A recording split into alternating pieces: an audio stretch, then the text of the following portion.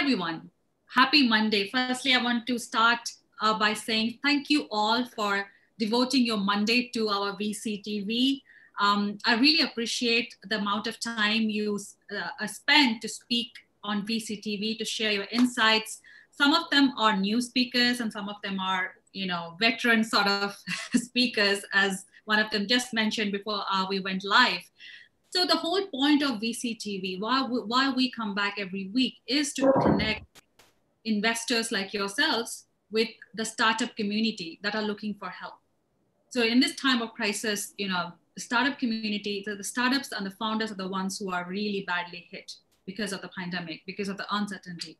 So this is the right time for us to come and help them out. And who better than better can do that other than people like yourself?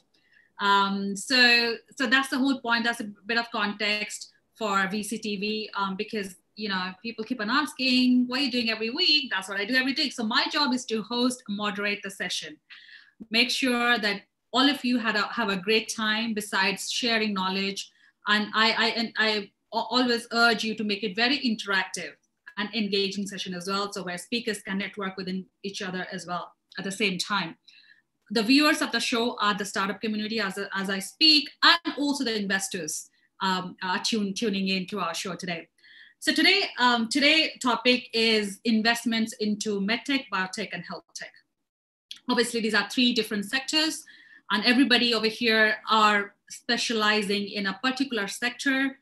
We have people from uh, VC firms, we have people from family offices, to share and also you know venture farm uh, venture arm of the family office uh, over here right here. Today we have the new speaker from singapore and i would like to uh, ask her to introduce herself um, with a short intro about herself and the company she represents.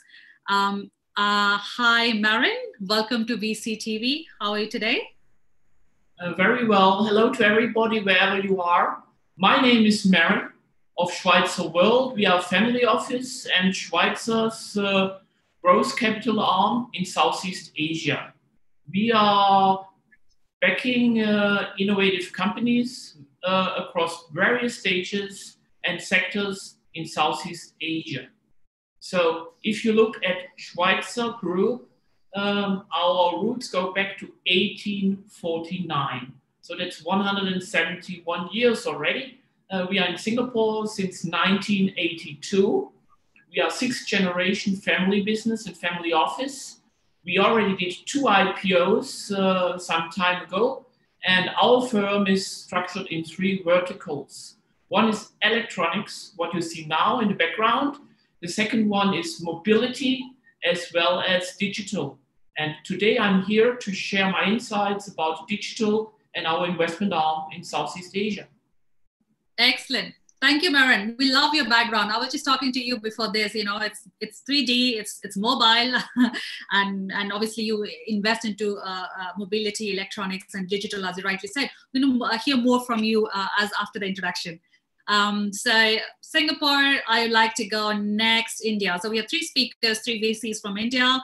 Um, uh, so basically, uh, one of them is brand new. On uh, I mean, obviously on my show, two two speakers are new, but they're spoken in the US panel. So I'd like to start with them. Anuj, hi Anuj, welcome to VCTV Singapore. How are you? I'm good, thank you so much. Uh, pleasure to be here. I mean, uh, as you mentioned, being on the US panel, so pleasure being on the Singapore panel as well. Uh, introducing myself, I am the founder of Yellow Sapphire Technologies and Atutum. Uh, is one of India's first private concierge where we are launching a privatized healthcare services for chronic and critical care patients. We have done a soft launch and are now rapidly expanding with over 18 hospitals on board. We are now reaching out to the next level where we onboard as many users as we can, helping them out with AI and personalization engines, along with a human touch to make their lives better. Fantastic. You want to hear more about uh, more insights from you later. Thank you, Anuj, and welcome to VCTV. Next, I have Devang Mehta. Hi, Devang. Welcome to VCTV Singapore, like Asia. Yeah, hi, how are you? Hey, uh, thank you. Very good, thank you. Thank you for organizing all this. Uh, I am Devang Mehta. I'm a partner at Anthill Ventures, which is an early stage VC firm. Um, invest primarily at pre-A and Series A. And uh, along with that, I also am the founding member of Lumos Healthcare, which is our, our accelerator that works hand in glove with the investment arm. So we're essentially a fund accelerator. And I manage the healthcare vertical. Uh, along with HCG, uh, India's biggest oncology chain, and a few other partners, we run this accelerator. So we have a strong interest in anything to do with oncology, early stage detection, cures, immuno-oncology, genome sequencing, uh, and adjacencies. And uh, I'm based out of Mumbai, India. We have presence uh, in Mumbai, Hyderabad, and Singapore. Oh, Singapore as well. Good, good to know that, Devang. Welcome to BCT. We're going to hear more insights from you later. Thank you Thank for you. that intro. So next I have, oh yeah, Thomas from Poland. Welcome to VCTV, Thomas. Firstly, are you freezing over there? Are you okay? Is it winters already? Yeah, perfect. Thank, thank you very much. Thank you, thank you for the introduction. Thank you for invitation for the, for this great event. And a few words about uh, about me and about SpeedUp. So I'm the managing partner in uh, SpeedUp Venture Capital Group. It's a group of VC funds uh, based in Poznań, Poland. Um, so we are investing in uh, in actually every vertical that uh, can be a good opportunity for us to to invest in. Uh, we have um, quite a good track record in investing in medical devices, medical technologies. Um, so I believe this uh, this event will also um, help me to, to to find a new look at the um, health and health tech market um, in the whole world. Thank you very much. Oh, Great. Yeah, that's the whole point. You can network with other investors who are actually investing into the same sector as you. Thank you and welcome. And last but not least, we have our special speaker who is always there. And, uh, Luis, welcome back. Welcome back to VCTV Singapore. Hi, Sonny. Thank you. And I apologize for being a little late. Technical difficulties. Uh, let me give this skinny really quick on myself. I'm a, I'm a managing partner with FJ Partners. We're a private equity firm. We're focused on technology, AI, AR, VR, and all of that is is uh, basically uh, tied into this topic today with uh, medtech, health tech, and uh, that that that arena. And I look forward to hearing from everyone on the panel and hopefully getting more information so that it can help the viewers and also help everyone on this panel to learn more about what everyone is doing in the industry at large. Excellent. Thank you so much, Luis. Okay, uh, so Marin, uh, I would like to start uh, open the panel with you. So tell us, tell us, tell us, tell the speaker, the tell our audience, sorry, um, excuse me, tell our audience, the startups who are watching us. So what's what's the current trends in health tech, um, med tech, and biotech? So what kind of investments are, get, are getting done into this space, and what do you see are the trends and the future in this space? There's a lot out there, and uh, well, COVID has certainly been an accelerator for health tech super apps.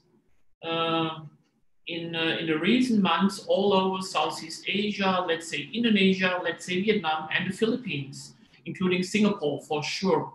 So, uh, what we see down there is that uh, the health tech uh, super apps they manage very well to uh, uh, run in the next round and keep keep growing, growing on from the perspective of users on the platform as well as uh, on the funding side. We just recently joined the Series C uh, of a health tech uh, super app in Southeast Asia.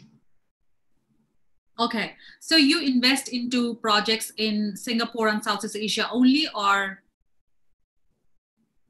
It's Southeast Asia only.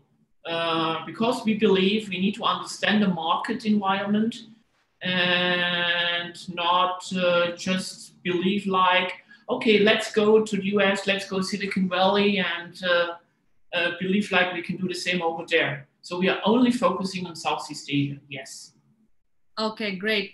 Thank you. Uh, I'll come back to you with more questions. I just realized, uh, my apologies, Chinu, welcome back. It's just that the way I had framed my Zoom, you were not in the frame. So sorry, I missed out.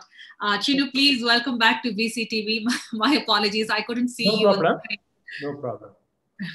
So hi, uh, my name is Chinnu Senthil Kumar. I'm a general partner at Exfinity Ventures. Uh, we are focused on enterprise technology in India, as well as we invest in cross-border investments, US and India. and uh, we have invested quite a few investments in AI into like uh, different business verticals. And uh, so we are actually actively looking to invest in healthcare and medtech.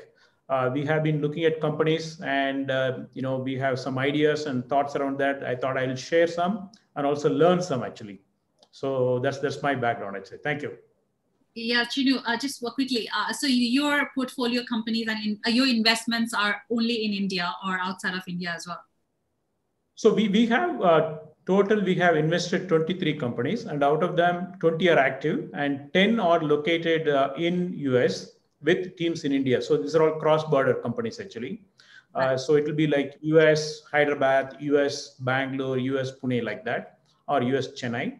And we have about 10 companies which are domiciled in India actually. Excellent. So it's India and US primarily. Uh, correct, correct, correct. Okay. Thank you so much. So Maren just, uh, okay, introduced uh, her, herself with the portfolio companies. Next, I'd like to ask Anuj. Anuj, yeah, please tell us about the recent investments, trends in the space. So basically, ask, tell us first, like, which sector do you invest into? Uh, we are primarily focusing upon health tech and fintech at the moment right now with Yellow Sapphire and with the Titum. These are the two sectors that we are actively looking at.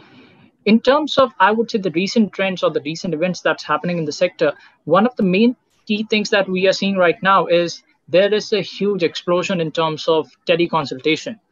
But one thing which I still believe is lacking right now is taking that teleconsultation forward uh, when when you're talking about consulting with a doctor over the internet, one of the key issues is that there is still connectivity issues in remote areas which still lack access to healthcare.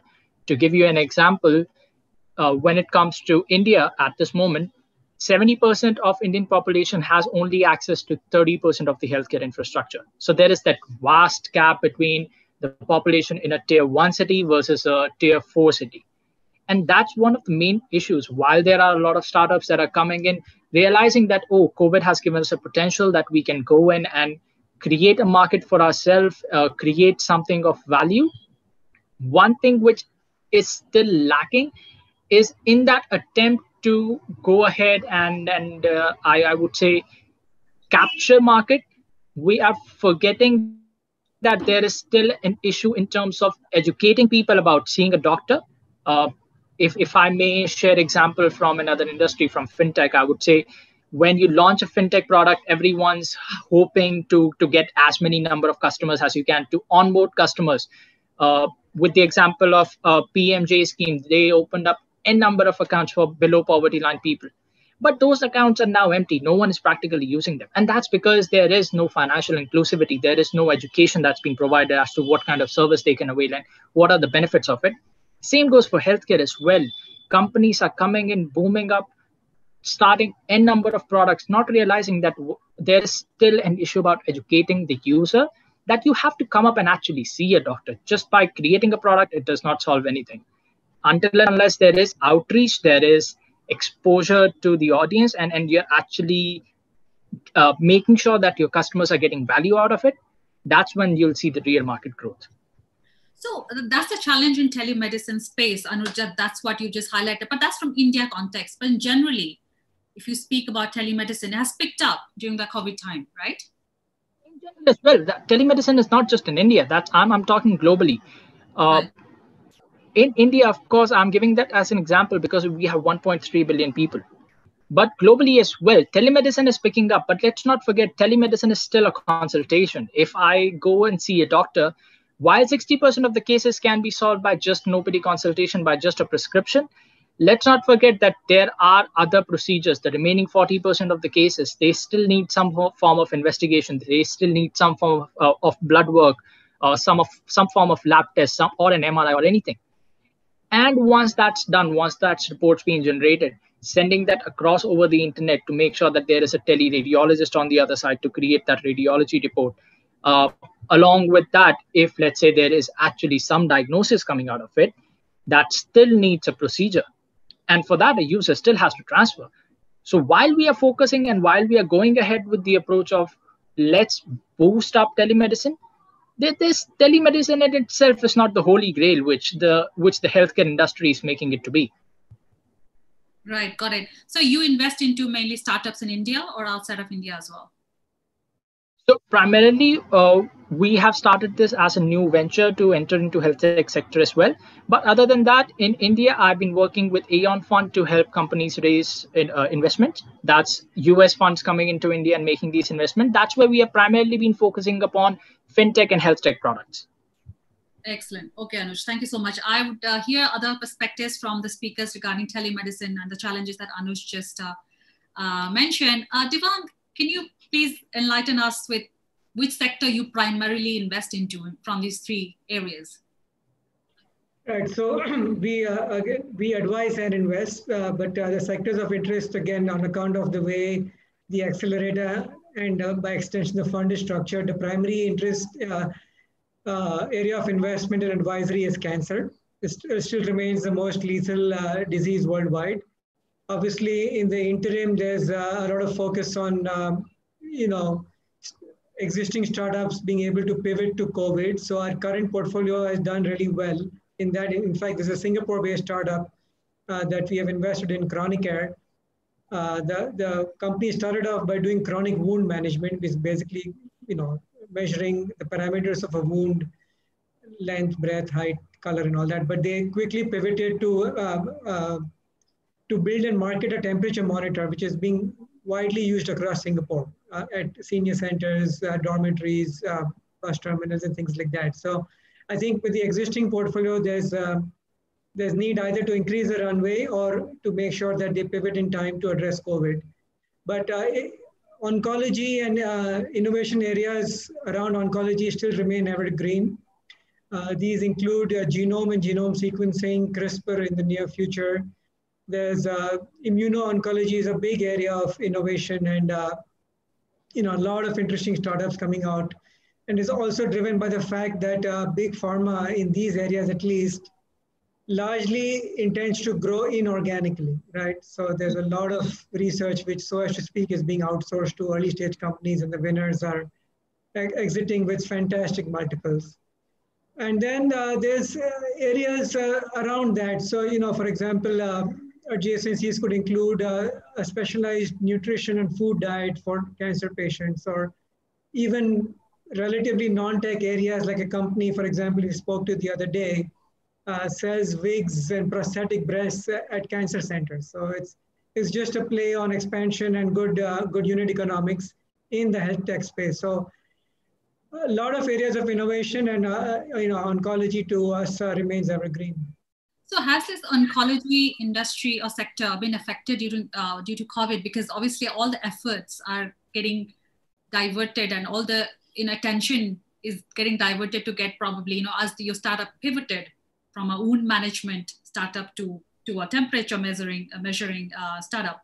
So right. do you think that has been affected because of the pandemic? Yeah, there's two ways to answer that. Obviously, it's not as easy as, as before March to go into a place and get chemo, right? You know, in fact, there's there's fear of going into any medical center for contracting COVID. So for sure, uh, you know, it, it's hard. I mean, people with existing conditions are dealing with it somehow. I'm not frankly 100% sure. So I think there's, but the areas of innovation, right? Uh, you know, scientists and researchers uh, doing research on a new molecule or drug that could uh, be a checkpoint inhibitor, that is largely unchanged. They just end up working completely remotely.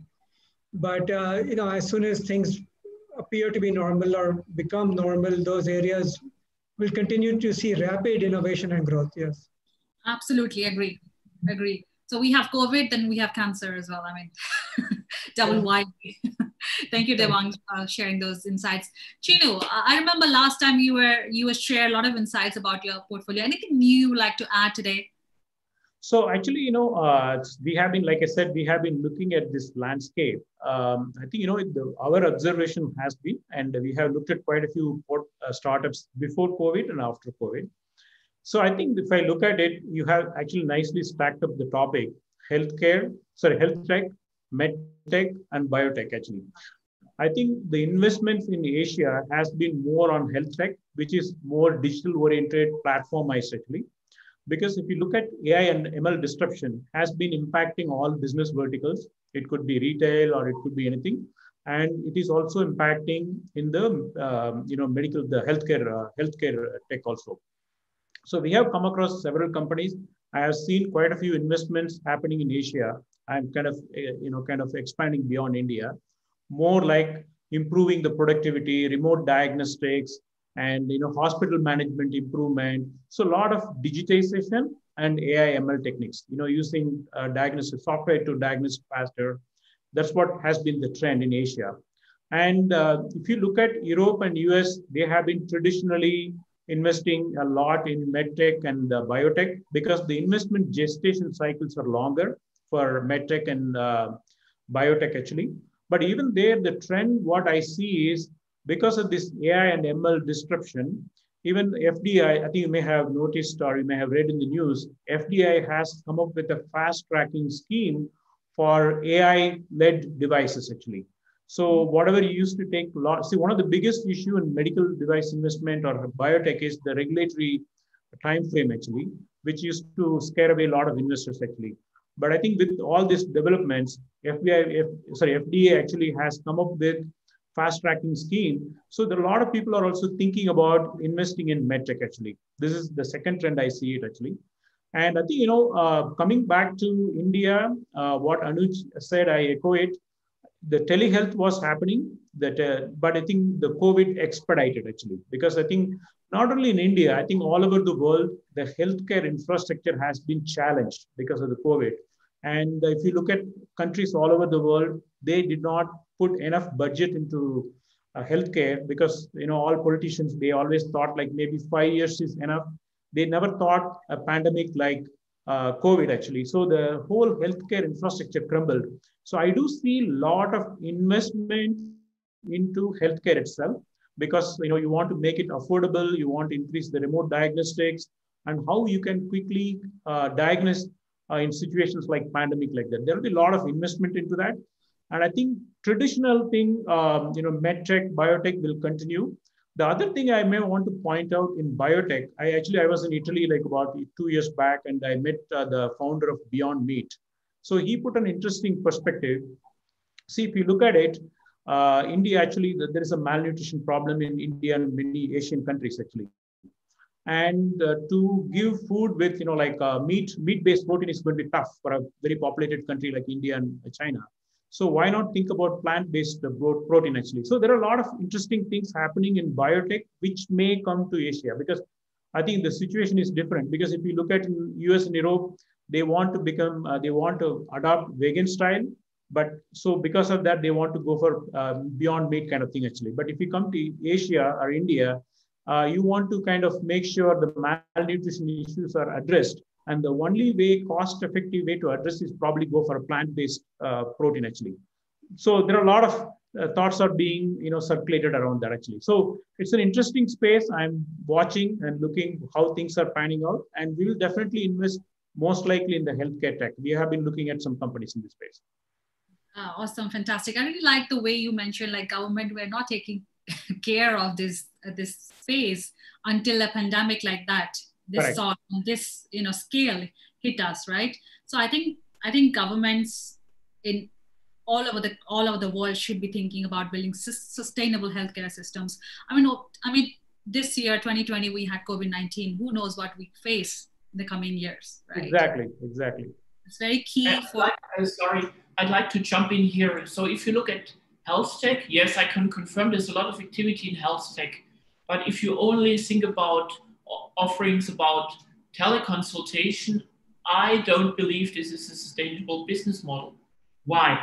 Because uh, we believe you need two things. One is you need to establish a rundle, and two, you need to own the rails. What is that? The rundle is that uh, you manage to bundle various offerings, maybe including insurance offerings, uh, so having on your teleconsultation platform, insurance companies uh, that cross-sell their products on your app, including payment. Uh, and uh, that's a bundle. So an important point of view uh, from our from our perspective is that you need to transfer this bundle into a rundle, so a recurrent revenue model. kind of subscription. Just imagine Amazon Prime. We all know it. Uh, it's for a couple of dollars or Singapore dollars or euros, wherever you are in the world, and you uh, you buy into that subscription. Most users they even forget that they have it, but they like it. That's a rundle then. So that's one. Secondly, uh, we believe uh, health tech needs to own the rails. What do we? What do I want to say with that? Owning the rails means uh, that you have a certain influence on distribution. So let's just look at Apple. Apple owns the rails because they are selling their uh, hardware, iPhones, iPad, or other devices, and then automatically certain apps come with it. So if you just compare Apple Music with Spotify, for example, there is a clear advantage that Apple owns the rails. So if you transfer that to health tech, I think it's important that health tech uh, ecosystems they manage to also own the rails. So that can be done via corporations, partnerships with hospitals and clinics that might be done with insurances, that these rails are actually part of the ecosystem and cannot be taken away by competition. So it's the two things, the rundle and owning the rails, which is important to have a USP down the road from, uh, from our perspective. Very good point. I totally agree. Insurance is a big aspect and very much attached to healthcare and fintech, obviously payments. They're all like part of the ecosystem. Thank you so much, Maren, uh, for adding those insights into uh, our panel.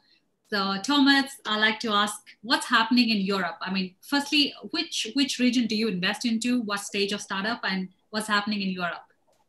So we are investing actually in the whole Europe. So and we are investing from uh, 200k euro till 5 million euro. Uh, so, so we have quite a broad uh, spectrum of investment that we can make. And uh, looking at uh, our deal flow and basically on our experience, what, what I can say, with what is happening in these free markets is that uh, so we can we can see rise of, of um, the three four big categories that are that, that, that, that is happening right now. So the first is um, um, connected with healthcare, but a bit before in the in the whole process. I mean, uh, it's a fitness and nutrition apps. So uh, any any technologies that that can help you stay healthy, uh, so you don't need to actually go to the healthcare market. Um, so so we can see a lot of apps. We can see a lot of technologies that can help you stay stay healthier. Uh, do it uh, do it at uh, do it at home, and um, yeah. So so so this is the first area. The second one is um, is um, anything. So any technology connected connected with uh, sim- simplifying the contact with the doctors, reducing the, this contact, and uh, somehow replacing the, some kind of some some part of process. Um, uh, uh, during the diagnosis of, of illness. Uh, and here in this bucket, we can uh, we can have all the AI machine learning technologies uh, that can actually put the diagnosis before the doctor can can do that. Uh, so, um, so this is it. The the third uh, the third area that we can see is uh, rise up of technologies that are actually prepared for the countries where there is not um, the common uh, access to uh, to the healthcare, uh, like like countries in, in Africa, for example. Uh, and the fourth one is um, improving processes mainly connected with clinical clinical trials uh, for big pharma. So um, as I can see, our our deal flow and our uh, and the projects that are coming to us, these are the four main areas that are connecting connecting with us to invest in, in, in such companies. Yeah, great. You've broken down in four areas. So, any recent investments in these four areas in the last uh, eight months, six to eight months? So actually you have um, uh, exit like uh, last month in the nutrition area. Uh, we we had investments like two years ago in uh, in a technology that um, um, using VR headset helps to to to, to uh, cure the lazy eye and and and uh, how is it called? Um, so lazy eye uh, symptoms for the for the kids. Uh, and uh, also in our portfolio we have StethoMe, which is AI uh, for for doctors to um, to diagnose. Um, the symptoms of asthma for children. Wow, what's using VR to treat lazy eye for children? What, what's, what's, what's that? I'm a little intrigued yeah, so you, you can say this. This is called Remed Vision, Remed VR. Um, this company is actually going to to to uh, get into the Indian market, as far as I believe, in the next year. So so maybe you will be also the beneficiary of, of the technology. Um, this is the technology that is using the games for the kids which have problems with, with their eyes, with uh, mostly with lazy eye. Uh, yeah, and we can actually um, shorten the, the whole process of, of curing a child from 18 months to six. Oh wow, that's cool. And second was, did you did you say asthma? Yeah, so so this is StethoMe, which is actually the AI um, AI-driven stethoscope uh, for MDs, which was um, uh, broadly used now uh, during the COVID uh, uh, COVID times. But actually, we are now uh, mostly focusing on asthma market because we can see that our our, algorithms that are um, our that are diagnosing um, the asthma can be can be the best used in this area, mostly or also for children.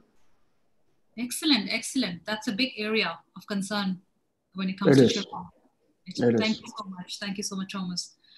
Okay, uh, last uh, but not least, Louis, your insights, please, from US.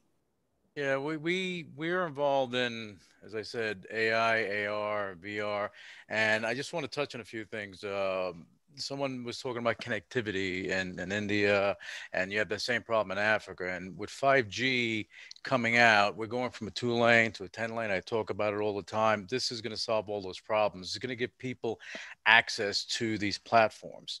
And healthcare, health technology, when it's in itself, is, is everything. Is medical tech, is bio, is everything.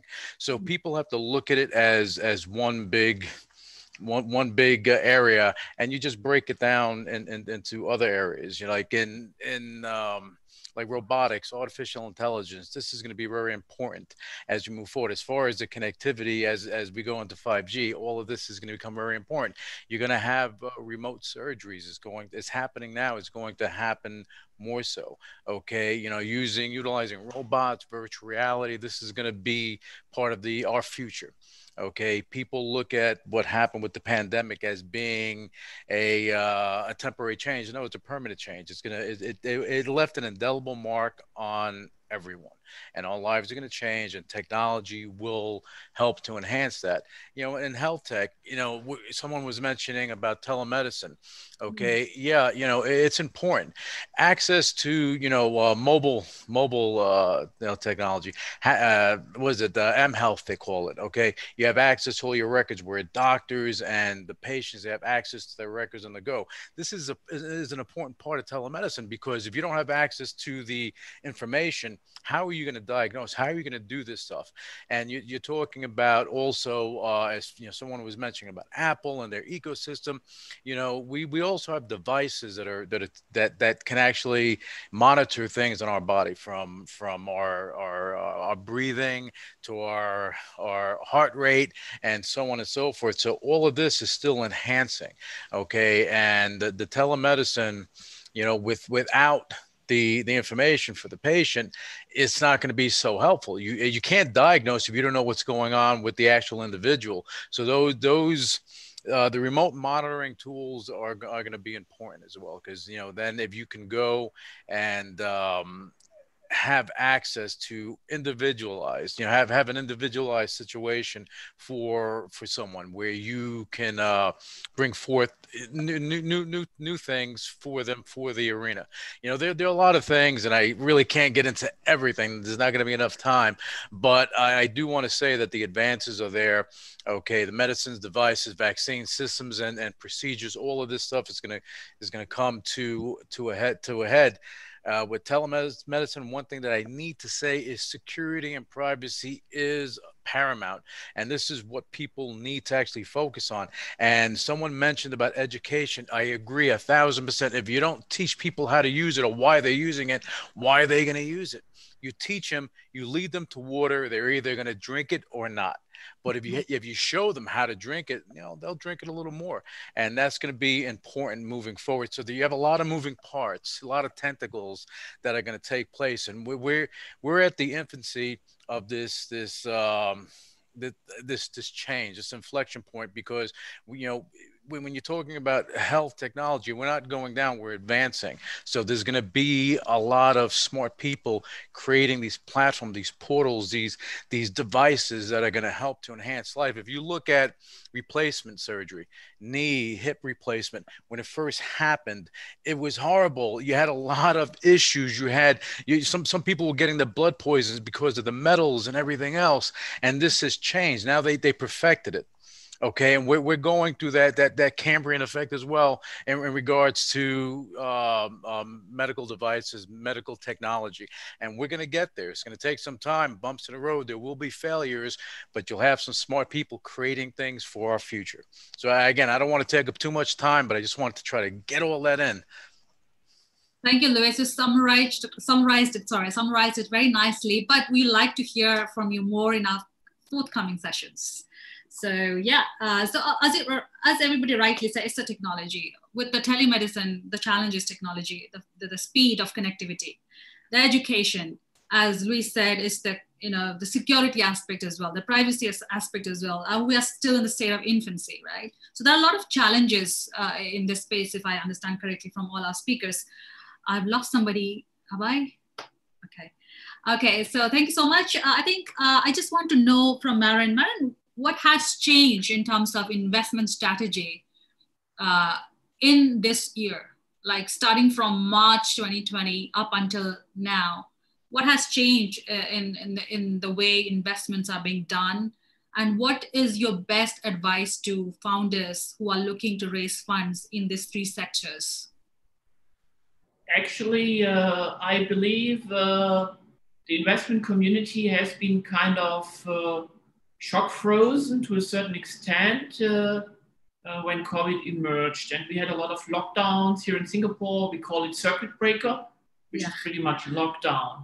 Uh, it's just another word. It, maybe it's, it's, uh, it's more tasty than a lockdown. So having said that, uh, on our investment strategy side, nothing has changed. We are still looking at the same targets. Uh, we are still doing the same evaluations. We are focusing a lot on getting to know uh, the team, the founders, and the extended management team at a very early stage. So we don't dig too much into data and look into pitch decks or info memos. We just right off want to know who's behind it, who can sell it, because we believe to be successful, you also need to be a visionary storyteller in a startup. But one thing for sure, has changed. And that's the advice uh, for, for all founders. It's all about runway. So we've been helping uh, and jumping in with our industry expertise. And that's what we do. It's not only about money, it's actually about our corporate expertise uh, from various sectors, which is uh, kind of 171 years old. So we had a lot of crises actually. So we get used to it, you know. Uh, we had World War One, we had World War Two, uh, we had uh, all the financial crises. Uh, we even had a fire in Germany which burned down nearly everything. So uh, we got used to that. That helps a lot because that's giving resilience. So my point is, it's all about runway. So my advice to everybody is plan on sufficient runway. And sufficient runway is at least until end of 2021 from our perspective and our advice. So you need to have enough cash to sustain your business until end of 2021. And please also expect a changed demand on uh, your consumer side, which might be a lot lower. So you need to resize potentially your business to be sustainable post assistance, post COVID. So uh, we've been jumping in a lot uh, to assist uh, startups to ensure that runaway. Excellent, Maren. I really like those, appreciate those points. It's about people. Who's the brains behind the project? That's number one. Again, cash. always cash runway. And you rightly said, end of 2021. I really agree to that as well. So, and build a sustainable business. So these are the key uh, key points. Startups who are watching Maren today, um, she invests into companies uh, in Singapore and Southeast Asia, and um, she represents a VC and a family office. So these are the key uh, points for you to consider if you are going to be pitching to her. Uh, so thank you, Marion. Thanks for that. Uh, maybe, maybe, one, maybe one more that just came into my mind. I didn't share it before. So one thing I think is important that's more internally uh, in, in our portfolio companies and for all entrepreneurs. Try to be straightforward to your team. I know that's so difficult because if you've been juggling with money and now it's getting even more difficult and maybe you even have to, to face uh, a down round, which is not fun, uh, be frank and always tell what's really on the table, even if it's bad news. One. Secondly, internally, uh, I would want to give the advice in times of crisis, please over communicate. Mm. Spend more time on communicating with your teams. Uh, and maybe you want also to always ask the same question. Uh, we call it phone tree. Just call everybody, and the entire management team is always asking the same questions, and then you get uh, get a good feeling uh, about where your organization is heading to. Mm. Never, ever, never, ever and that's valid for all crises, including crisis which is affecting your brand, downplay what is happening to you. Don't downplay. Even though it might be very tough to tell your team, you know, now we have to do A, B, C, D, maybe you have to cut down costs. We also have to think about uh, retrenchment or we all do salary cuts. Yes, that's difficult, but go out with it. Don't wait and uh, tell everybody what your where your company is really heading to. So that's about straightforward communication, which is helping uh, to keep trust through difficult times. Absolutely, trust always, always in any any any situation, be it crisis or not. And communication is always the key, and transparency. Very, very well put, uh, Maren. Thank you so much. I'd like to ask Anuj, uh, from your perspective, uh, since March till now, um, what has changed in investment from, from your perspective and what are you going to advise the um, founders who are looking to raise funds what i see is changing is uh, now entrepreneurs are realizing that they have to do better than just technology uh, most of the entrepreneurs most of the startup founders are engineers i have been an engineer myself as well and i i I, I would say I, I agree to this as well when I say as engineers, we tend to fall in love with technology. We, we tend to think that, oh my God, developing technology is the holy grail. Uh, by by creating X product, I can solve Y, Z, and, and n number of problems.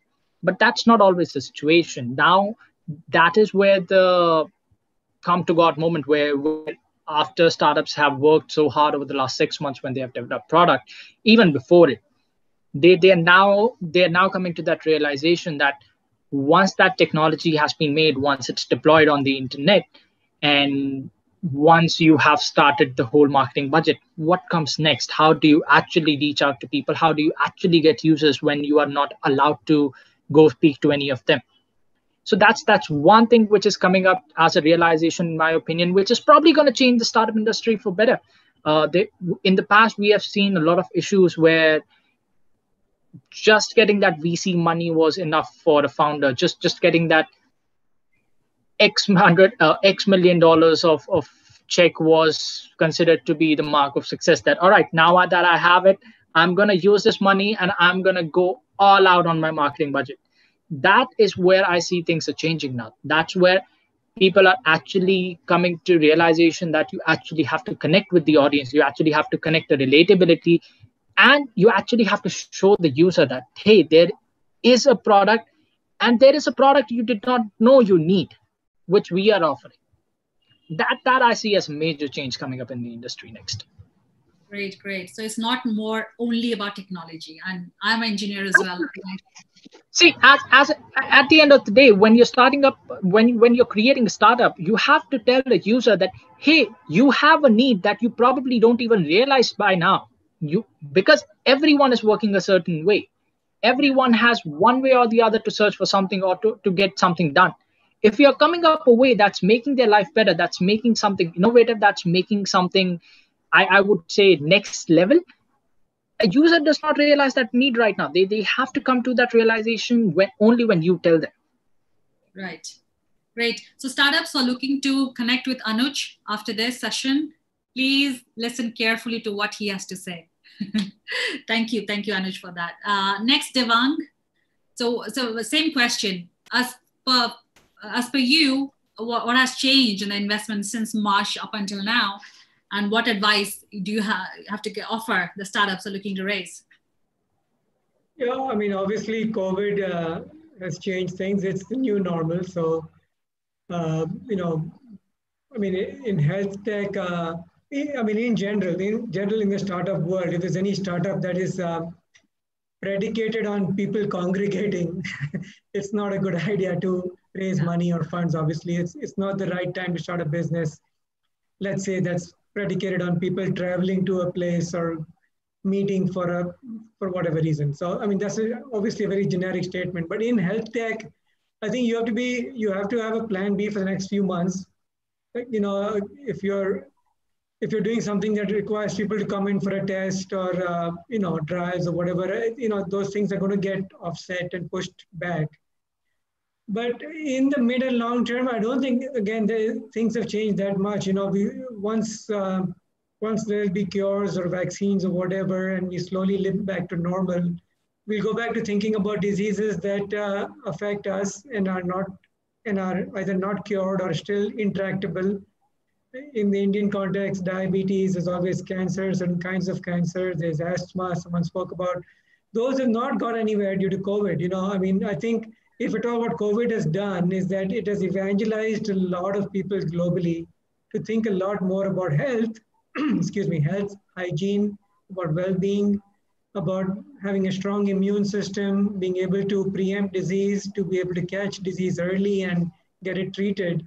I think that mentality will carry over even post-COVID. So it actually opens up a lot more opportunities where if you can help people build an immune system, uh, get detected early for any disease, communicate that information through telemedicine or otherwise to doctors and healthcare providers and uh, weave that all into the healthcare system through either government funded programs or insurance and uh, interlink with IoT and timely uh, information, all that will continue to see tremendous growth uh, in the mid and long term. So I think if you are able to latch on to one of these rising trends and um, exhibit the same startup trends, which is to build out a good team and execute uh, well, I think you you you will see a lot of investor interest in the upcoming months.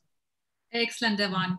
Thank you so much for uh, sharing those insights. Uh, so startups, founders who want to connect with Devang later on after this show, please play back, listen to what he's got to say and focus at those points before you go and pitch. Thank you, Devang, so much uh, for your insights. Uh, next, I like to Chinu. Chinu, I mean, we always, I always hear great things from you. So what's, what's, what has changed in terms of investments as per your perspectives? So thank you. And I think uh, both uh, Meher, Anuj, and others have echoed uh, in terms of keeping the runway, making sure you have to have a lean and mean. So I'll not repeat that. So I think, you know, if I look at health tech, med tech, and biotech, I think the health tech and med tech definitely has been back into the attention or getting more attention because of COVID. I think that's for sure. And I know some of my friends in VC community, they have invested during this time. Along with cybersecurity, this is one area which will get traction actually. So there will be more investments. I think, you know, like, um, you know, like Devang said that COVID has evangelized the need for health tech actually. So the second thing actually for um, entrepreneurs, I always keep saying that look for the unit economics actually. That's very, very important. When you develop any product, it's not just in health tech or med tech. It's very important you look at the unit economics. And I think this is more, uh, you know, like uh, more so in the post-COVID actually, because I think funding is happening. It is not dried up completely. In fact, maybe the funding is shifting from maybe from B2C to other sectors. That's the way I look at it actually, because I talked to some of my friends in Silicon Valley. They say that funding is happening as if like nothing has changed in Silicon Valley. So I think it is going to shift from B2C, other areas, maybe the travel, hospitality, those areas to probably B2B and hospitality, sorry, the uh, you know health tech, med tech like that. That is for it. So funding is going to happen. I don't know how big that we have to wait and watch.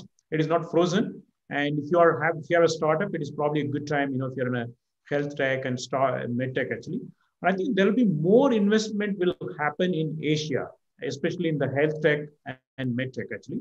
Because uh, you know like uh, the, everything is getting platformized. Like i said earlier ai and machine learning is transforming a lot of uh, the, the pharma chain med chain like that. So you will see more investments into that.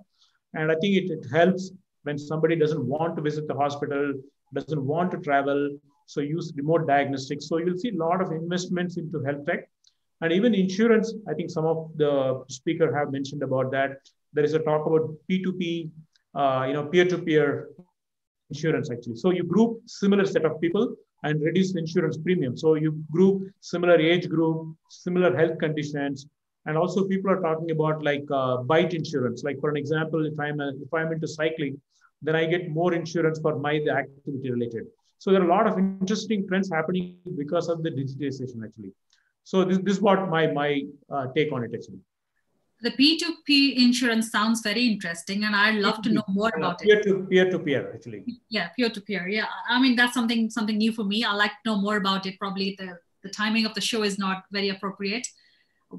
Either we can break it up into another session, or we can take it offline. But you know, but if somebody wants to pitch and and connect with you as a founder, so what are the what are the what's the main three points you you would like them to focus on?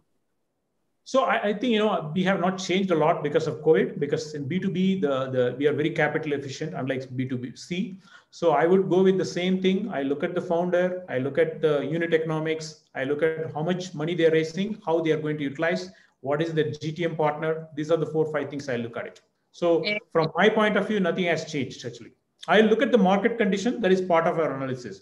But someone comes to pitch to me or to our fund, I look at these four five things actually. Excellent. Thank you, Chinu. You made uh, things very simple. So founders and startups are looking to pitch and connect with Chinu. Please make sure you watch this show. Thank you. Thank you. Um, Thomas, over to you. So, so what has changed in Europe? I mean, from your perspectives. So, so um, not really so much. Uh, so um, uh, as far as I believe, uh, maybe some some startups had some problems during the COVID times. Maybe the liquidity on the market was not so good as as, as it was before.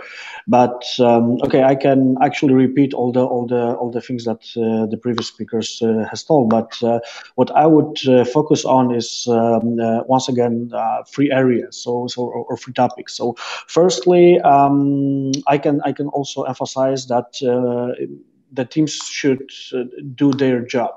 So um, they should take the, the current situation into, into the consideration and maybe update their their long uh, long term strategy. But still, they should always keep in mind their strategy, their big picture, and their uh, their target.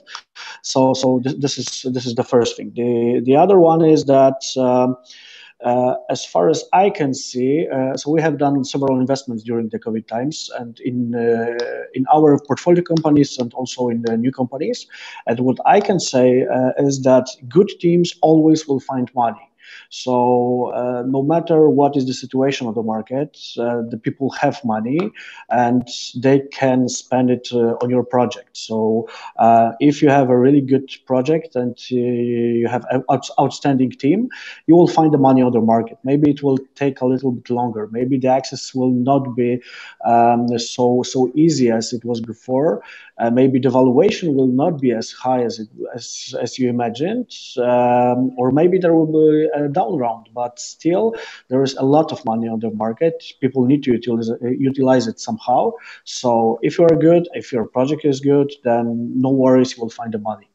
Um, and the third and the third thing uh, uh, is that um, every team and every project should be aware that there are a lot of people in their surroundings that can help them it can be their clients, it can be their suppliers, it can be their investors. So don't hesitate to ask your suppliers for longer term. Uh, don't ask your clients maybe to uh, pay for next 12 months of, of your service because actually it's happening. We can see in our portfolio that many startups just asked for help uh, in their surroundings. And even in this uh, pandemic times, they got this help um, uh, from the market. So there are a lot of good people in your surroundings. Don't hesitate uh, to ask for help.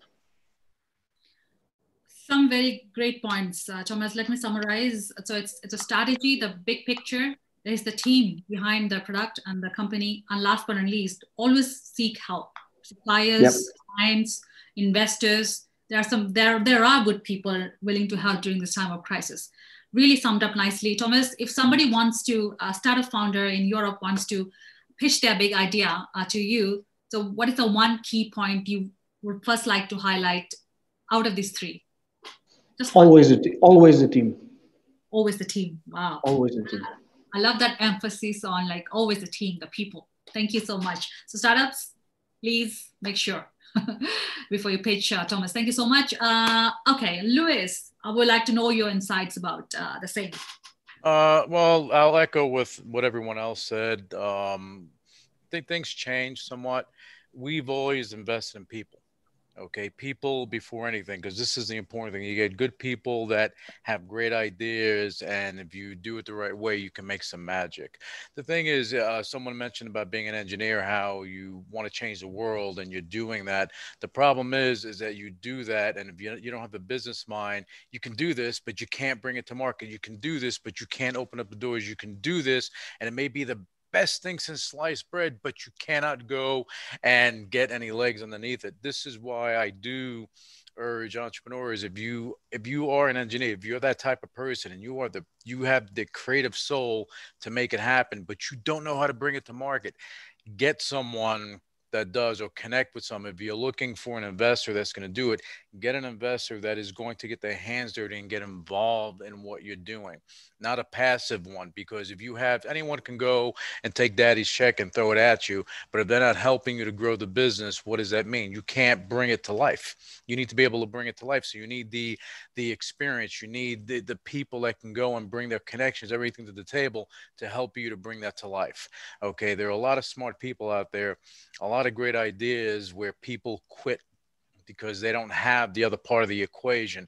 Uh, you know, I heard Apple mentioned a few times. You look at Steve Jobs, you look at, you know, uh, Woz, you see how they did it. You had the marketing, the business acumen, you had the creativity, and that made the magic. If you're able to do that, you can make some magic. And in this arena, health technology, there are a lot of opportunities, and you can do that. And again, on our end, we, we always look at the people, then we look at what they have. And it has to be disruptive technology that's scalable. If you you do that, you can have a successful recipe. But it has to be in the right area. You know, there's money out there, as, as Thomas said, there's money out there. You just need to go and find it and bring the right things to the table. And your team has to be strong. If your team isn't strong, it's going to be problematic. So try to work on that as well. But bring good, get good, good people surround surrounding you, and you can be successful at it. Excellent. Uh, thank you so much, uh, Luis uh, and Thomas. It's the people. It's the strong people. And investor, it's it's not only cutting a check, but bringing their connections, their network, their education to scale this. And again, that is technology, which is which you know is able to scale as well. So there are many points. So people in US who are looking to reach out to Luis via us, please listen to what he's got to say I need to say that we're, we're global. We're global. It's not the U, just the U.S. We're global. Okay. awesome. That's even makes it much more, you know, exciting for for founders to reach out to you. So please, please note, Luis is global. That's why he's on the Asia panels to connect with the Asian startups. Okay, awesome. Thank you. So just conscious of the time. Any burning question? Any last question you have for your co-speaker?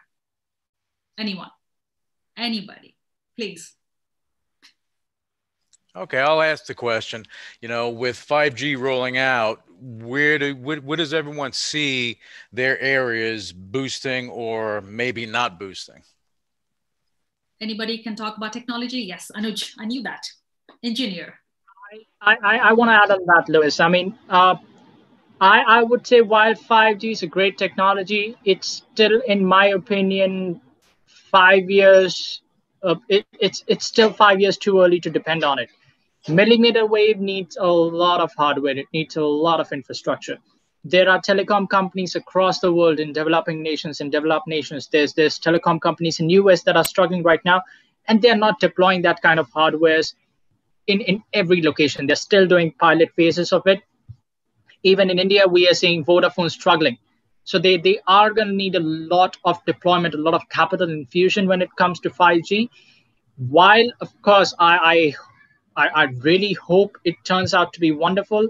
I, I think depending upon 5G or, or waiting for it to make an impact, it's just, uh, I, I would say, five years too early for it. Wow, five years is too early for it. Okay, thank you, Anuj. Anybody else? Devang, you've got something to add? No. I mean, no, not much more than what Anuj said. I think. Yes, it's going to take some time, and experience and history shows uh, many new technologies take a little longer uh, for their go-to market. But uh, I believe 5G is going to be in, an enabler for many industries. So besides ecosystems, we've been talking a lot today it's a driver for anything about mobility. So if you look at our electronics vertical and at our mobility vertical, it's definitely a need. Just imagine the connected cars uh, sharing information.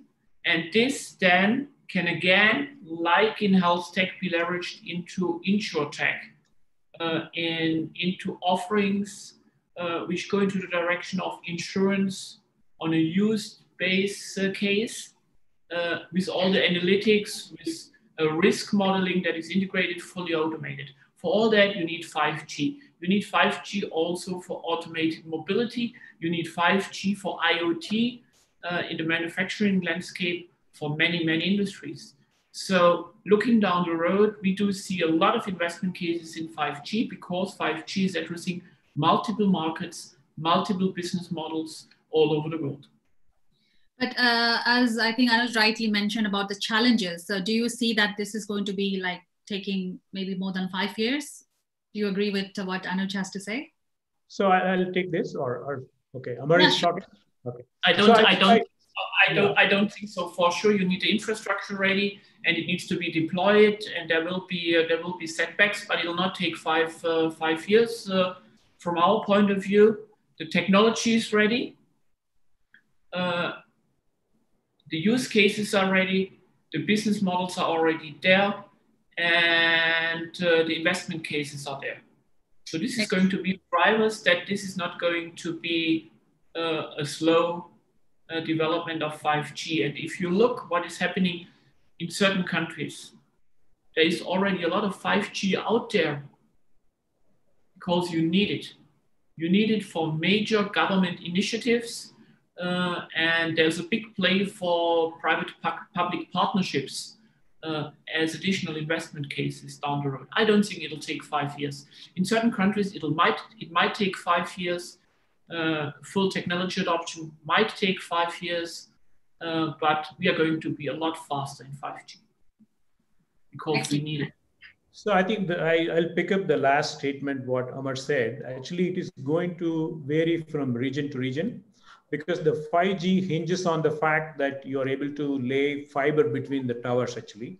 And I think if you look at in India, countries like India or maybe many other countries, so the laying out fiber in cities is going to be a big problem. So the other thing is in rural area, even laying out fiber in rural areas. So the other alternative is come up with satellite. That's what uh, Elon Musk is talking about. You know the Star as you know the Starlink and everything. So I think you know the way I look at is in US, Europe, probably the rollout will happen fast, even China for sure. And I think the other countries probably will take longer than that. So the impact will be also taking time actually. And uh, we have invested in one company, which is the autonomous vehicle. And uh, so if you look at the autonomous vehicle, uh, the positioning is more for like Japan market, for like US market and Europe. And I don't know about other countries in Asia. Uh, China is there. You know, I'm clubbing it with other countries, but I think in, in Asia, it's not even being talked about. So I think you know the 5G rollout will definitely happen in Asia a little later, actually. That's why I look at it. Physical limitations and also the companies, telecom companies have invested in 3G and 4G. They also need to make sure that they recover the investments actually. And uh, so if you look at specifically the telecom companies in India, they are bleeding actually. So they may not have money to invest in 5G. It may not be a technology problem. So it could be beyond technology problem actually. Wow. So Louis, you got very different perspectives from Maren um, uh, and uh, Chinu and uh, so I just don't see. Has, has he left? okay, so Louis, did that answer your question? Yeah, it's good to get to get input from different sides of the equation. And I do believe that in, in certain countries, it'll be a slower rollout. In other countries, it's going to be quicker, and we need it. This is the future of everything. This is the connectivity that we need. And as you have smart cities evolving, this is going to help the rural areas to actually get that connectivity. So it's just going to go boop, boop, boop, boop, boop, and they're going to figure out how to do it, especially with vehicles and everything as they're going. They're going to be bringing that connectivity to you as well. So it's going to be interesting and it's going to be a fun ride. And I think a lot of technology is going to come out that's going to better our lives. We hope. yeah, we always hopeful positively. Thank you uh, so much. So that brings us to the end of the session. I mean, just six minutes over, but that's okay. I'm really into it, and we all are we're into it. So uh, before I close the session, I just want to ask Maren, who just joined us for the first time. Maren, how how would you describe your experience at, on VCTV today? And what's the feedback and what, what value has he added onto you today? We always like to share uh, what we experienced. Uh, I appreciated a lot different perspective, uh, learnings from uh, different regions. Uh, I think uh, the mix, the mix is the different ingredients like like cooking. You need different ingredients, seasoning, herbs, salt, pepper to really uh, have a great dish. So I think we had a great dish today. I appreciate it a lot. And for all uh, uh, entrepreneurs who are out there and listening to us, uh, please keep in mind two things. One is default, uh, change is our default. I'm getting tired, Singapore time. Change is our default. We started with the clock business and uh, have electronics businesses, mobility, and digital business today. The only thing that didn't change and what always mattered is our purpose. And for sure, 170 years ago, we didn't call it purpose, we just had it. It's that we want to make things better than they were yesterday. So if you like that, get in touch with us and then uh, we'll see if we can uh, cooperate together and if you can uh, join the Schweizer family. Thank you. Excellent, Maren. So startup, thank you so much. Startups and founders, those who would like to reach out to Maren, please make sure change is a thing in your scope of work and many more other stuff besides that as well. Uh, next, I would like to ask uh, Thomas. Thomas, what's uh, so what's so what's it because you also attended for the first time what has been your experience on vctv and what's the feedback and and the value that have added to you today? Okay so uh, thank you very much uh, one more time for the invitation it was a pleasure to, to, to be a part of this event. Um, so actually, I love the different uh, the different views uh, from many angles at the same topic. So uh, so I have learned a lot about Indian and U.S. markets, uh, Asian and U.S. Uh, market, um, and what I can say, I hope that I would be able to be a part of such events in the future, and maybe there will be an opportunity in the future to, to make a deal with you guys. Absolutely. That's the whole idea where you get to meet other investors and network with them as well. Thank you so much, Thomas, for being on the show, and I hope to see you more on our show. Uh, thank you. Devang, thank you. Devang, what's what's your take on VCTV? Uh, always a pleasure being here. Thank you. It's uh, each event is interesting. You know, there's new panelists every time. That, that even within health tech, there's so many subtopics. You know, you always learn from people with uh, from different geographies. Like I think, you know, specifically this event, um, I've not been uh, on with any other VC from Poland. So, you know, there's always something new to learn and something interesting to discover. And um, fabulous job. Thank you. Awesome, Devang. You can always reach out to Thomas, and Thomas can always reach out to all of you after the show. Uh, just you just have to ping me. you just have to let me know. Thank you so much, Devang. Thank you. Chinu, what's your take on VCTV? Great. Uh, I think I'll probably repeat, uh, but I think I'll repeat because it's important. I have to re-emphasize. I think the diversity of the speaker you bring into this platform is amazing because this is the second time I'm attending and uh, truly a global perspective starting from the United States to Europe to Asia. So that's, that's something I really love to join this platform. Second, the more and more I look at it, the VC community or even the investment community thinks very similar.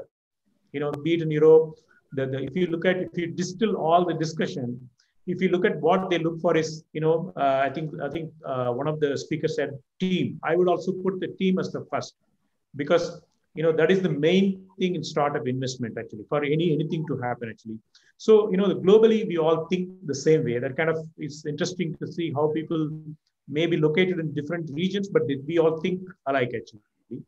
And uh, third, actually, um, uh, you know, very interesting session about the healthcare, so the health tech, ranging from health tech to med tech to biotech, uh, wide ranging of topics. But you know, like it's an interesting uh, topic in today's context, especially in COVID. Very right timing, actually. Great, great work. Thanks. Thank you, Chinu. I really, you know, I really will love to have you back because your insights are equally great. Thank you so much for those feedback. Last but not least, our regular speaker, who is just global citizen as well, Luis. Uh, thanks, honey. Uh, VCTV is a great platform. It brings together panelists, as everyone said, from from a global from globally global perspective and giving this insight is invaluable to people to the viewers to anyone that's watching the show listening to the show because they can learn from it. And then uh then then tomas you know, Poznan, my favorite city in Poland, by the way.